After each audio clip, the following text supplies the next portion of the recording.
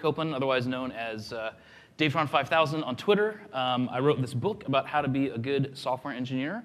I wrote this other book about how to build awesome command line applications in Ruby. And these aren't particularly applicable to our talk, but uh, what we'll learn in this talk will help us build better applications and be better programmers, I hope. Um, so, the title of the talk, right? Overcoming our obsession with stringly typed Ruby. So, stringly typed is what we're talking about. Does anybody know what I mean by, by stringly typed? Oh, and you came anyway. Uh, so, uh, if you've ever uh, heard of uh, Jeff Atwood, otherwise known as Coding Horror on Twitter, he writes his programmer's blog, and he's got this great post. It's a few years old. Uh, he goes through uh, different types of programmer jargon, and there are these very amusing phrases for things that we do as programmers. And the one that I thought was the most amusing was this one, stringly typed. And so, what he says in the blog, he says it's a riff on strongly typed, used to describe an implementation that needlessly relies on strings when programmer and refactor friendly options are available. Um, and we use strings all the time. Input comes as strings, output needs to be a string. Uh, Rails loves strings, databases love strings. We use them all the time, but it can get us into trouble um, if we use them when we really shouldn't. So uh, we'll have a motivating example um, to, to, demonstrate how we can get into trouble. Uh, so we'll, we'll talk about zip codes. So uh, if you're not from the United States, this is also called a postal code, but basically it's a bunch of numbers uh, that help the post office figure out where a particular piece of mail is supposed to go. It's like sort of a pre-sorting uh, sorting thing that they do. Um, and the basics of a zip code is that it's five digits. Um, di- it's not a number. It looks like a number, but it's always five digits, even if they begin with zero. So, like uh, zip codes in Puerto Rico would start with 009. Um, and like I said, they map to a particular area of the United States as defined by the post office. Um, and you can sort of read into them, like the first couple of digits can kind of give you a sense of where in the country it is. And you can see that the numeric value of a, a post code or a zip code is lower on the East Coast than it is on the West Coast. But generally, it's just a, a meaningless uh, string of numbers that they use. So, with that in mind, we're going to look at a very simple application designed to send letters to people. So, we have a database of um, addresses. And we have this third party uh, API that we're going to use that's going to allow us to send letters. So, like your account is overdrawn, or you're due for a refund, or something like that. Um, and basically, that service will take care of like printing and folding and stamping and mailing the letters. And we do what programmers do, which is make two systems talk to each other and, and uh, wrap some service to do something more specific for whatever it is that we need to do. Um, so, this is the Ruby API that the third party mailing service is providing us. That's why the implementation isn't there. Uh, so we will configure a bunch of letters that we might want to send in their system, and those all have IDs. So we will find, whenever we want to send a, a letter, we will find it by the letter ID, which gives us back this class that has this method called mail that takes the four parts of an address as strings a street, a city, state, and a zip code. Uh, and so calling that will mail that letter to that address. Uh, so, uh, to build our part of the system, we'll make a database um, of addresses and we'll use strings to store them because that's what the database uh, gives us. It's a pretty reasonable design uh, table. Um, and then we'll have um, some code of our own. So, this uh, bit of code here, its job is to read in um, address information from the command line and store it into the database. And we can assume, for the purposes of this talk, that this dollar database thing is some super simplified way of getting data into the database. It's not anything like Active Record, it's just something simple so that we're not too worried about the database layer for this. Um, and so we can use this bit of code to add stuff into our database. Now, to actually send the letters, we're going to make two classes. So the first one's job is to wrap the third party mailing service with something that's a little friendlier for the internals of our system. So our system deals with an address as a hash uh, so this letter sender is going to take the letter ID of a letter we'd like to send, a hash of the address uh, to send it, and it will handle figuring out from that hash how to call the third party service. Uh, the second class that we're going to need is going to handle getting an address out of the database. Uh, oops, sorry. Uh, there it is.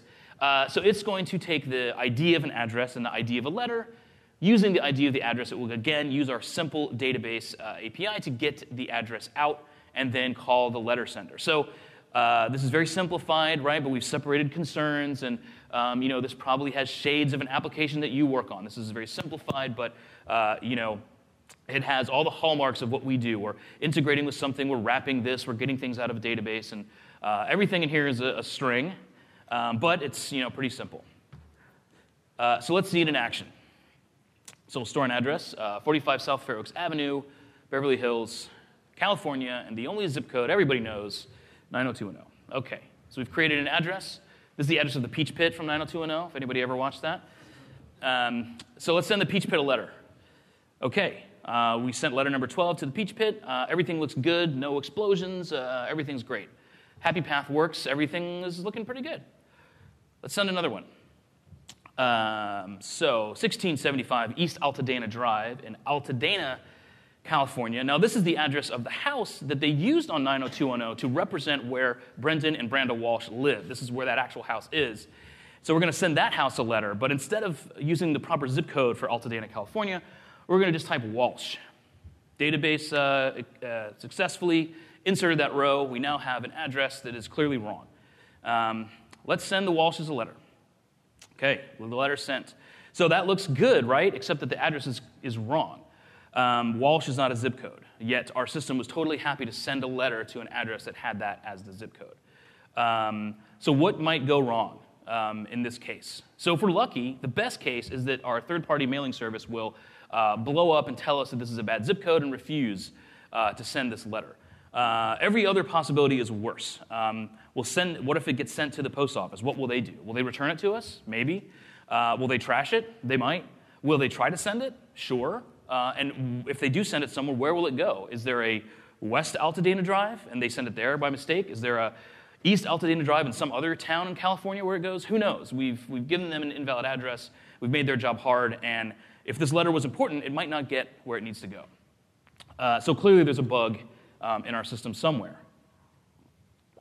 Uh, so you could argue that the problem is in reading the input, right? We're, we have this zip code as a string, but the, not every string is a zip code. So maybe if we uh, restrict uh, our input from being anything that doesn't look like a zip code, uh, okay, so we could do that. So now when you're adding uh, um, addresses to the database, we're never going to uh, allow an invalid zip code.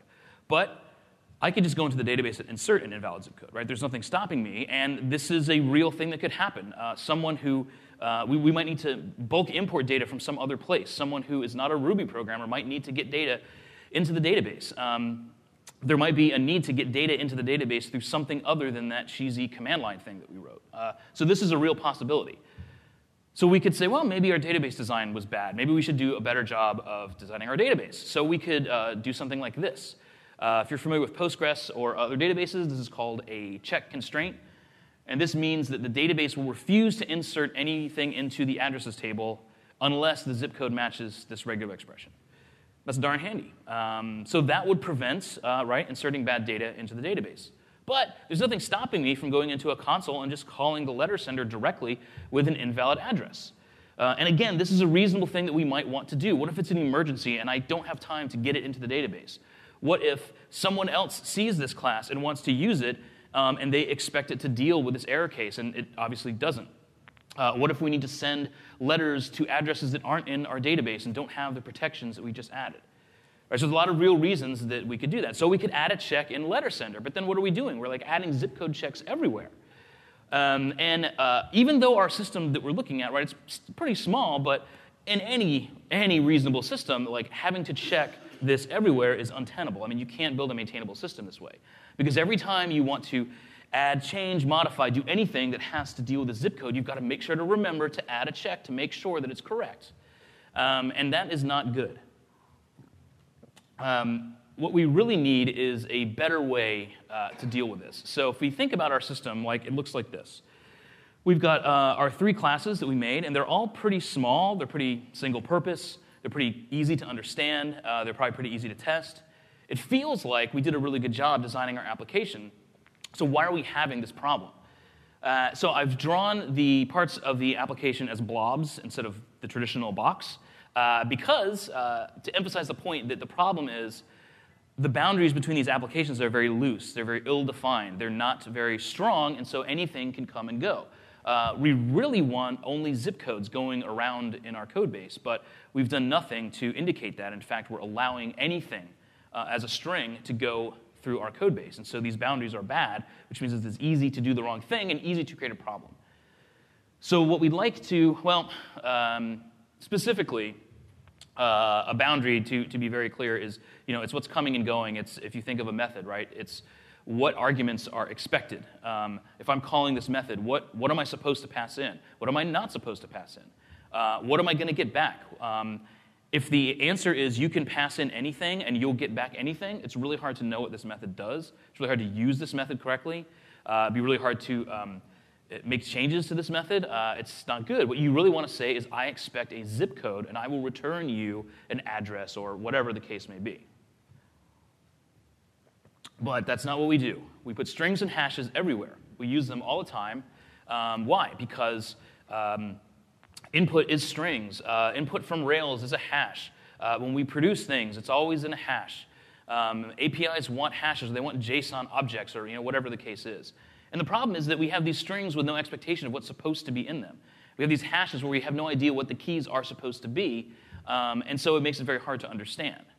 But there's a reason that we do this. And it's not because we're stupid or lazy or uh, not good programmers or something like that. It's that there's a convenience to this. Um, if we wanted to create a system using Java, for, uh, for, example, so Java, yes, you can make a string, you can make a hash, but it is not as easy as it is in Ruby. And the APIs around strings and hashes in Java are somewhat cumbersome to use. So it's uh, you don't tend to create systems in Java based on strings and hashes. Instead, you uh, think really hard and you create uh, special purpose classes for everything um, before you actually start writing code.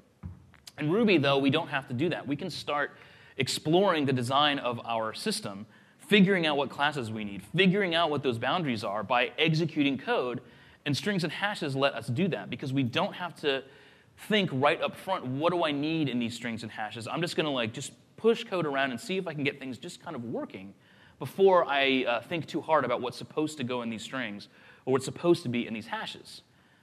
Problem is, if we leave the system like that, we leave it in this state where it's very hard to understand and very hard to modify.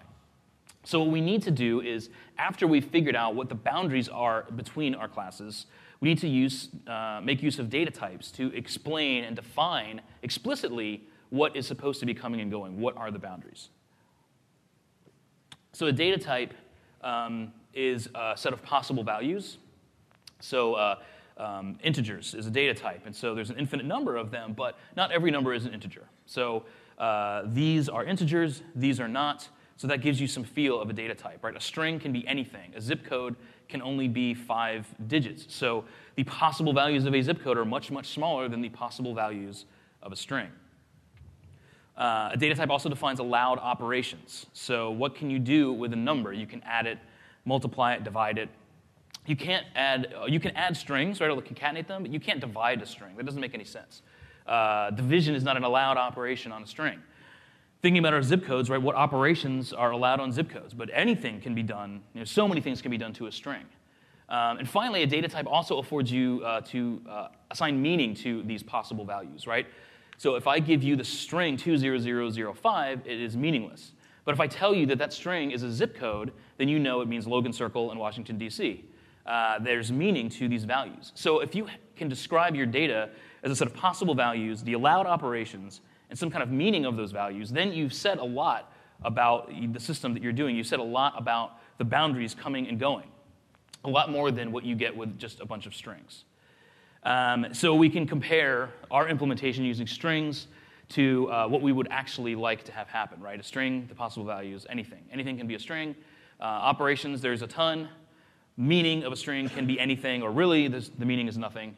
Uh, a zip code, right? It's only five digits. Um, there's only 100,000 possible zip codes.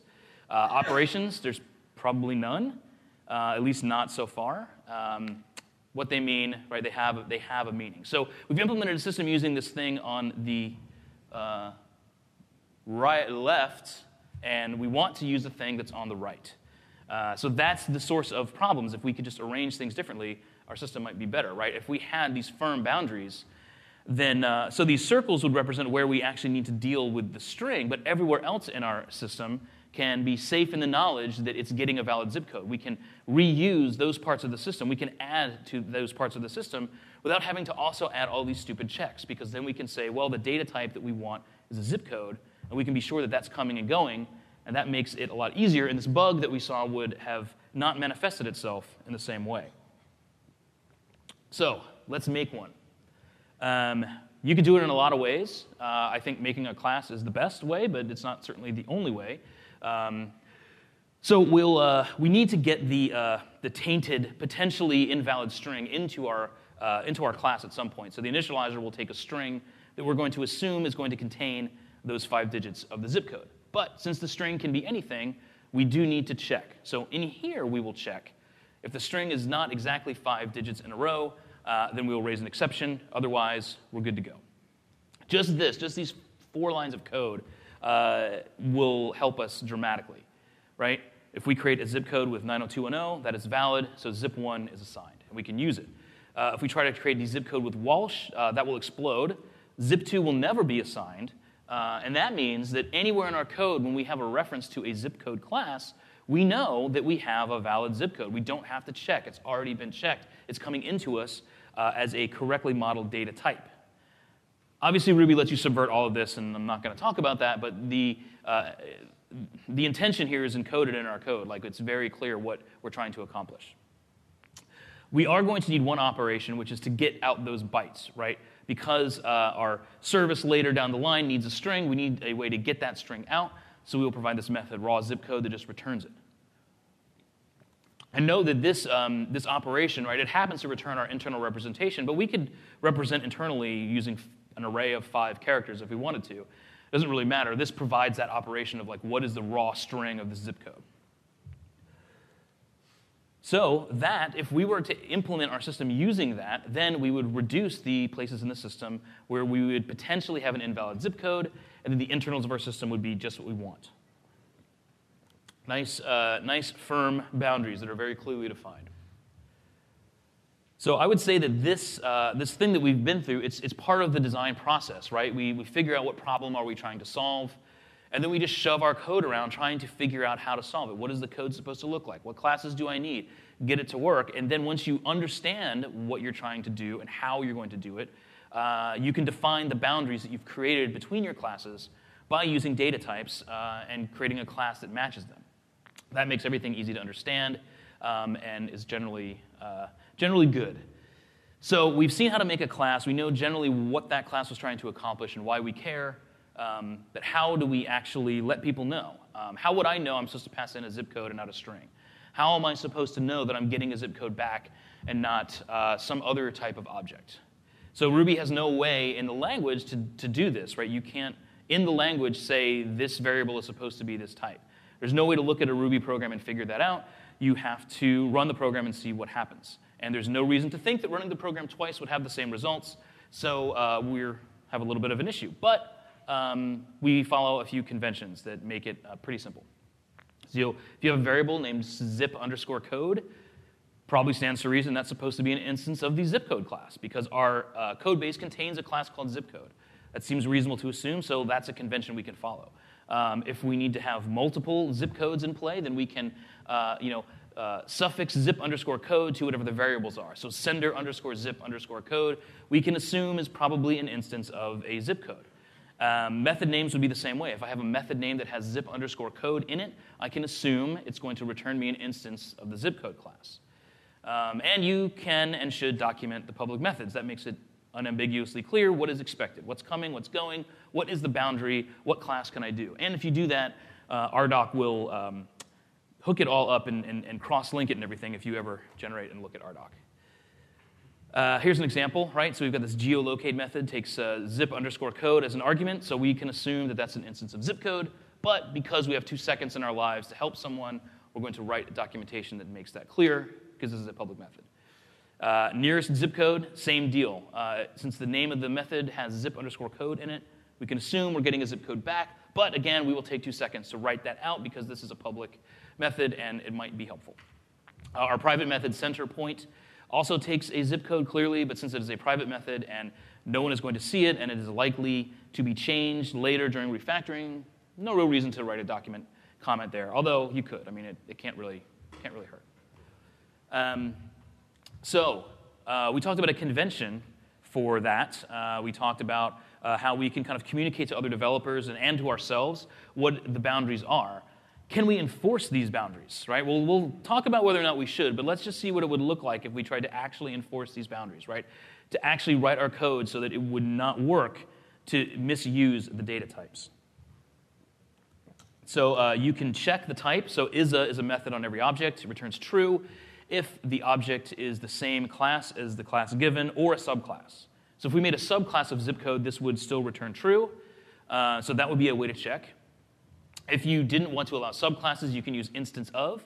So this will return true if zip underscore code is a zip code, but not if it is a subclass of zip code. So this is a stronger uh, check of the type of the argument.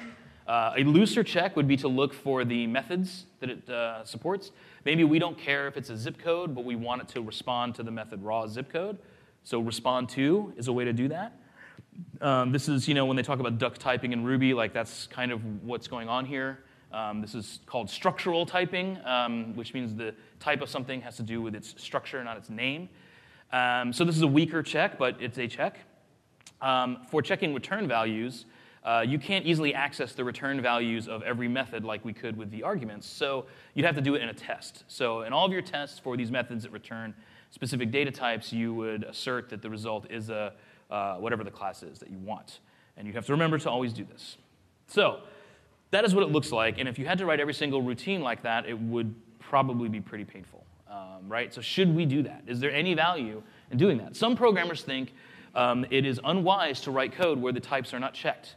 Uh, that it is a bad idea to allow code to be written where you're not doing these checks all over the place. Um, and that's fine. Um, you could write type checks everywhere if you wanted to. Um, in Ruby, I think that would be pretty painful, and I don't think we need to. And if that's the kind of code you want to write, I mean, there's other languages that are really tailor made for doing lots of type checks. Ruby is not one of them, and I think that's fine. Um, so then the question is is checking these types, like, should we ever bother? Like, is there any point to it? I think there's two points to it, two times that it might be useful. If there's some sort of risk involved, um, which we'll talk about, or if you're doing a big uh, refactor, it can be helpful. Uh, so, risk, right? Whenever I'm doing this, I kind of ask myself a couple questions. How often am I expecting to get the wrong type in? Is it something that's going to be really hard to screw up? Is it really obvious what to do? Or is this really easy to screw up and everyone's going to like pass the wrong thing in? And then I balance that with what happens if the wrong type does come in? Uh, will there be a exception just generated that is nice and I don't have to bother checking? Or will the medical laser cut off someone's thumb, in which case maybe I do want to check? Uh, so you do this calculus in your head to try to figure out uh, if uh, you can be helpful by adding a type check. I don't often do it, um, but you know, I do think about this when deciding whether or not it's, it's useful to do. A big refactor is another one. So if you've ever worked in a statically typed language with a compiler, and you want to do a big refactor, which I mean you're changing, you're making fundamental changes to internal core objects. Um, and it can be tricky because it's a big change. Um, with a compiled language, right, you can uh, change the types however you need to change them, compile everything, and then you'll get a big slew of errors about everywhere that you've screwed up the types, and then you fix them, and then you're done. Uh, this is called lean on the compiler, if you've ever heard of that. Um, this is darn handy. It, it makes it really easy to do these sorts of refactors in a language you know, like Java that compiles. So obviously we don't have a compiler in Ruby, um, but we do have a test suite, and so we can leverage that with some type checks to kind of fake it out, right? So we'll change whatever core types we want, um, add in explicit type checks to our code uh, anywhere that's using the things that we just changed, right? We're going to add those type checks to lots and lots of places because when we run our test suite, they will all blow up with nice, helpful error messages about our misuse of the data types that we've created. Fix the errors, and then we can remove all the explicit type checks because they really don't need to, to be there. So this is a sort of thing you can put in your pocket if you are faced with a large change that you want to make and you're a little nervous about uh, how well you're going to be able to do it. Adding these explicit type checks can, uh, can help. Um, but both of these amount to like uh, checking explicitly is not something that um, you probably are going to do very often. So, the other problem the world wants a string, right? Uh, HTTP is strings, Rails is strings, databases are strings, output is strings, input is strings. So, what do we do when we want to live in this world? We have nice, well defined data structures, uh, but the world wants these dirty strings. Uh, so, there's two things you can do. Um, first, you can adapt uh, some protocols that will turn your data type into a string in a standard way that uh, various parts of the Ruby library uh, expect. you can also create wrappers that will take strings and turn those into your data type. And by judiciously using those wrappers in just the right place, uh, you avoid having to convert strings to your data type and back um, throughout your code.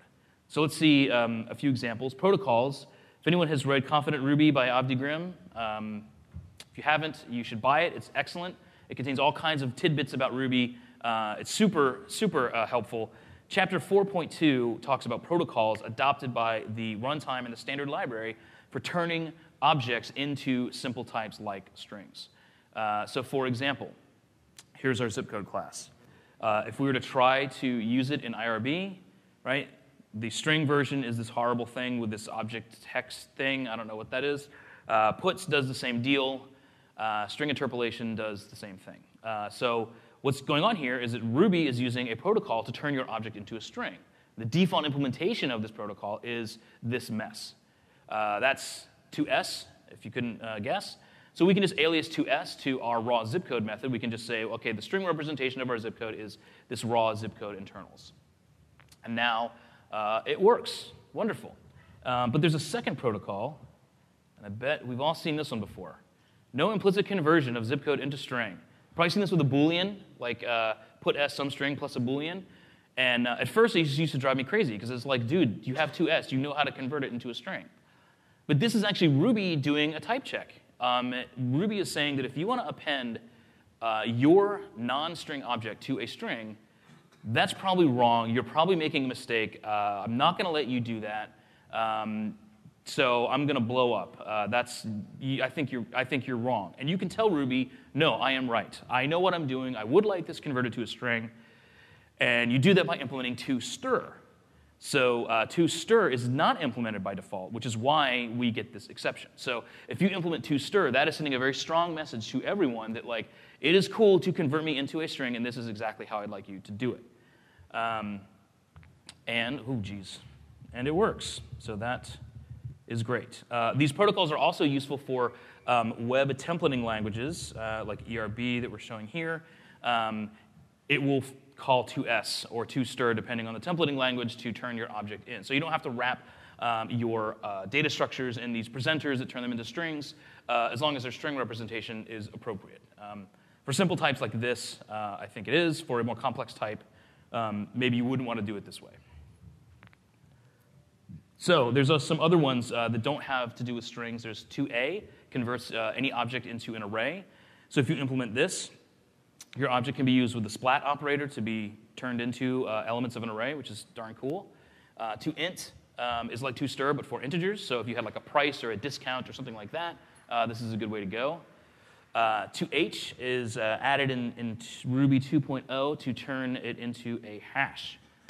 Um, so those are some protocols to turn your custom data type into a more primitive one that uh, the standard library and other libraries might be expecting. The second one is wrappers. Um, so we're getting um, strings out of our database, as we saw, as we saw before. And we want to turn those strings into our zip code data type. Uh, so we could add a line of code here to do that. But then you got to remember to add this line of code everywhere that we called select from. Uh, we don't want to do that. We would like to isolate that inside the database. And so this goofy database handle that we have, like it doesn't have this feature. But we can add this feature by using the power of Simple Delegator. Does anybody use Simple Delegator? Okay, this is, the, this is cool. So uh, Simple Delegator, uh, you inherit from Simple Delegator like we're doing. And you can see here on line six, we're, wrap, you know, we're creating an instance of our wrapping database. And so what that's going to do is it's going to, any message we send to database is going to pass it through to the underlying object. So we've created a wrapper around our uh, goofy database handle um, that will pass all the methods through. But since we're doing that in a class, we can add methods uh, to that and give it better functionality. We can intercept methods. So we'll add a method called convert that is this DSL-ish thing that will tell uh, the database we'd like to convert um, the zip code column of the addresses table into a zip code class. And it saves it here um, in the table. Uh, so then what we can do is we can override the select from method to basically do the conversion inside. So uh, first thing we have to do is call the original object select from method to have it do the work of selecting from the database and getting those strings back. Uh, Simple Delegator gives you a method called underscore underscore get obj underscore underscore, which uh, I assume was created because no sane person would make a method named that, so they can be safe that it will be available. That returns the object that we're wrapping. We then call select from on that object to get the raw results. Then all we need to do is convert those raw results that have strings into a result set that has our data type in it. So convert results will take raw results, which is an array of hashes, and it will convert each row uh, of that into a, uh, into a hash that contains our data type. And convert row, this is a little gnarly, some takeaway from this that this is possible, not necessarily how this code uh, works. But basically, we go through uh, the, the hash that we're given, and if there's a conversion for the table and the column that we've got, we do the conversion. Otherwise, we just leave the value alone, and at the end, we return um, the converted row. So that's a way you could add um, wrapping to uh, anything that you want. So this lets you kind of consolidate it into one place where it's needed and not have to do these conversions everywhere. Now, I'm guessing you're probably not using a database um, uh, mapping tool invented for a conference talk, but maybe something else like Active Record. So Active Record has this feature. It's called serialize. You give it the name of the column and an optional class that will handle the conversion. Uh, by default, it does this silly thing with YAML, um, but you don't want to do that. We want to, you know, convert it ourselves. So we'll give it our zip code class, and then we'll implement two methods on that class, load and dump. Load takes the string from the database and is expected to return the data type that we want. Dump takes the data type that we have and is expected to return the string representation suitable for putting into the database. Uh, notice we're using uh, the to_str protocol here. Uh, so this code is actually fairly generic. If we had a richer system of types, we could uh, uh, generalize this somewhat. Um, and so this is all you need to have Active Record use your uh, custom data types. And what will happen if you do this, because remember, you can't make a zip code if it's invalid. If someone does put invalid data in the database, it will blow up the second it is fetched.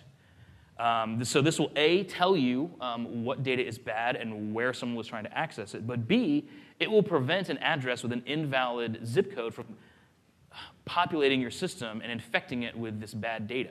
Uh, it, absolutely prevents it, thus allowing the internals of our system to continue to be implemented as if they're getting valid data because we have ensured that that will happen. Uh, Sequel, uh, I don't know if anybody uses this. Um, I haven't used it in a very long time, but it does support this as well. Uh, I have never run this code. This is to demonstrate that it is supported. But basically, you uh, use a serialization plugin and you uh, register the serializer. So you've got a name of it and then two lambdas. One, which is sort of like a dump that we saw before, that's expected to get the string. The other is like load that is expected to uh, return the actual object. And then throw a couple of methods in your model, and now uh, using uh, Sequel, you have all of this goodness as well. So um, this makes it really easy to use custom data types without having to worry about strings leaking in to your system. Uh, so this whole thing was talking about zip codes uh, just because it was very simple and easy. Uh, but there's lots of other places you could do this with even the simplest things. So, email address. We store those as strings all the time. Um, so, these two email addresses are the same. They're the same email address, but the string representations that we have here are false. So, using a string is probably not a good idea. Then we have to do this crap all the time. I mean, we've done lower and downcase and all this. Yeah, it's just terrible. Uh, what if we had a class, a data structure, right? Uh, the data type of email, uh, these two emails are the same. So the data type can reflect that. Prices, right? If you're doing e commerce, we have prices everywhere. Um, so, uh, what is one third off of $100? It is not that. 33.3333336 is not a price. Um, right? Price.new 100 discount third. 33.33 is a price. Uh, so, by using a simple data structure, we can enforce the rules of our system, uh, make sure that prices are always correct. It also forces you to think about stuff like this. Like, uh, there's some sort of mathematical operation I'm sure we could do that would uh, have us debate do we round up or do we round down? Well, uh, you should think about that, and the price class would be a great place to encode that decision. Uh, enumerated types like states or provinces or status codes or error codes, these are also really great for making data structures because they have a very well defined and obvious set of possible values. Okay, so that is my entire spiel. Uh, to take away anything, uh, think about using data types. When you're designing and building your code, don't forget to define those boundaries because you have something in mind.